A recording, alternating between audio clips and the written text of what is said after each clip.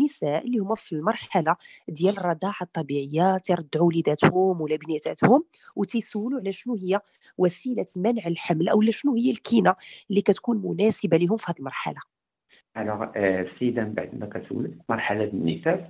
آه، ملي كدوز واحد 20 يوم بعد الولاده آه، خاصها تبدا آه، وسيلة من وسائل المنع اللي خاصنا نعرفوا اذا كانت السيدة كترضع بصفة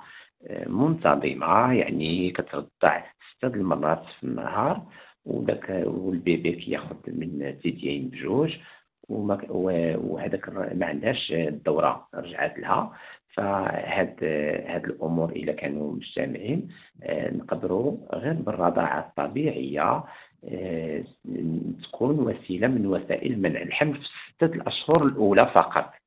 لأن في الستة الأشهر الأولى اذا كانت ذاك الرضاعة بانتظام فكيكون الناتج عن الرضاعة إن كتكون واحد الارتفاع نسبي لهرمون الحليب وهذاك الهرمون الحليب هو اللي ما كيخليش آه، الإباضة تكون ولكن كان آه، خاص السيدة تكون يعني كدير غير رضاعه آه، طبيعية ما كتكون اييه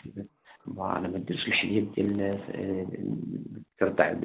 الحليب الاصطناعي. أي نعم. يكون 100%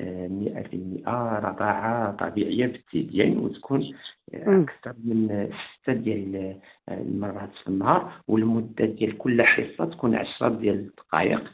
آه، وتكون نعم. الثديين بجوج. فمن بعد ما كدوز هذه المدة ديال ست شهور هاد الوسيلة ديال منع الحمل ما كتبقاش فعالة بزاف ديك الساعة نقدروا نوصفوا لها بعد كاين حبوب منع الحمل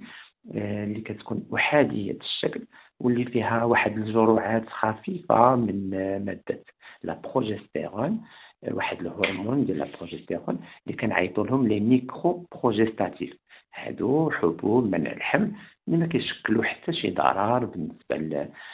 مع الرضاعة واللي نقدروا من بعد ست شهور السيده تقدر تتعاون بهم كوسيلة من وسائل المنع الحمل